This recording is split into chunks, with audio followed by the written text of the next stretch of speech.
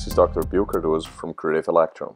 Today, our VP of Marketing, Dr. Glen Thomas, is going to explore how to find defects in your SMT process line.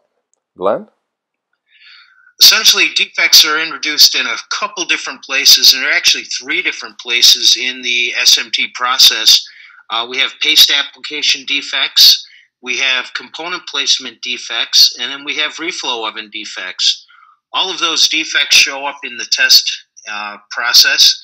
Uh, you can pass or fail the tests. Uh, if it passes, then you ship the product. If not, then it goes back to rework. And then the rework would essentially go back to test. So you have a closed loop system to monitor your process from the beginning to the end. And X ray is an integral part of that.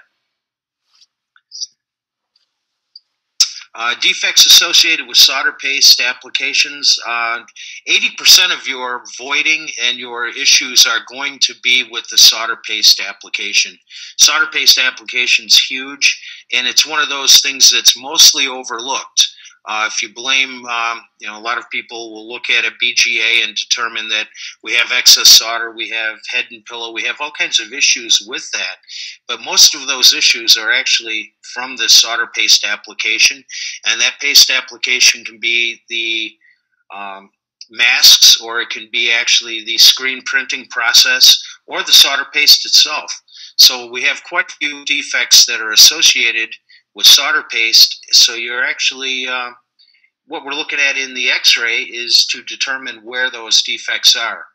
And we can look at the excessive solder, solder bridges, uh, insufficient solder. All of those things can actually be attributed to solder paste applications. Uh, component defects. Component def- uh, placement defects are essentially uh, misalignment, polarity, and missing components. Uh, X-ray is not unique in its ability to be able to image these issues. Uh, most AOI systems will do a very decent job at this type of defect. So um, essentially, the X-ray in this case just backs up your AOI.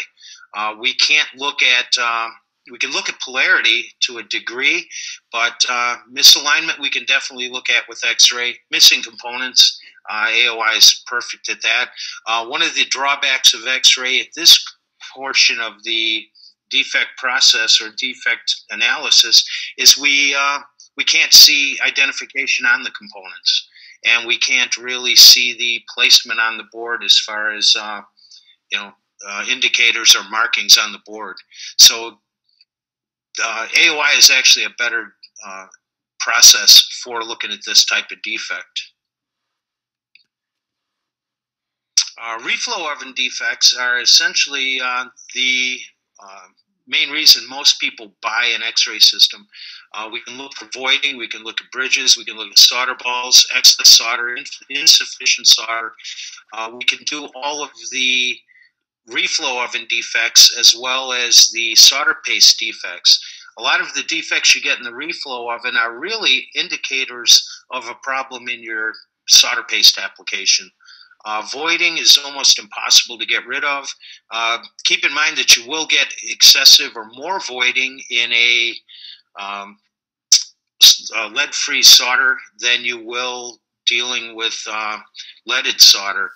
Uh, also, what another thing that um, a reflow oven deflect that's introduced into the system is uh, if you take your standard heat profile for a soldered component that's soldered on with lead, uh, you switch to lead free, uh, you really need to increase your temperature profile time a bit to get a little bit better um, melting, you know, adhesion.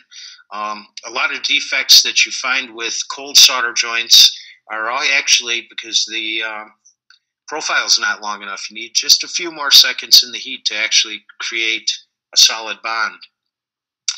Uh, excess solder, that's pretty straightforward as well. Um, that one um, is typically only a reflow oven issue if you get a lot of solder um, or solder balls and you get a lot of uh, uh, a lot of excessive heat, or if you your profile is too long, you will get a lot of solder balls and you will get excessive solder. Uh, essentially, you'll get solder migration. So you, you still have the same amount of solder, it's just not where it typically should be, and that creates the bridges and the insufficient solder issues.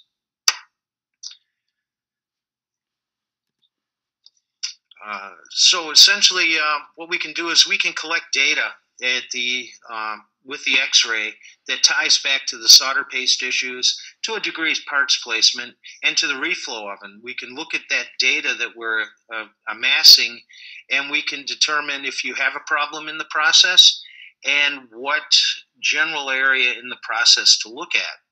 But we can also monitor that process to eliminate problems um, that become catastrophic. You can see your process vary to a degree. You can see that you're starting to get more voiding. Your percentage of voiding has crept up a few percent. Uh, you can see that you're uh, you may have some alignment issues uh, that are starting to creep into the process.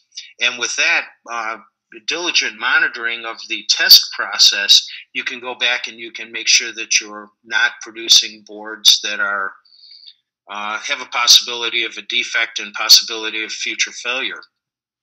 Uh, in the future failure process, you can also go back and you can look at your data that you've collected in your test process, and you can uh, determine trends and shifts and uh, you know general overall integrity of the product. Um, even after five years, if you store the information in the database, you can bring it up and you can look at X part with an X serial number, and you can look at five or ten before or after inspections, and you can actually determine if you had a, a product shift or you had a quality shift during that time frame.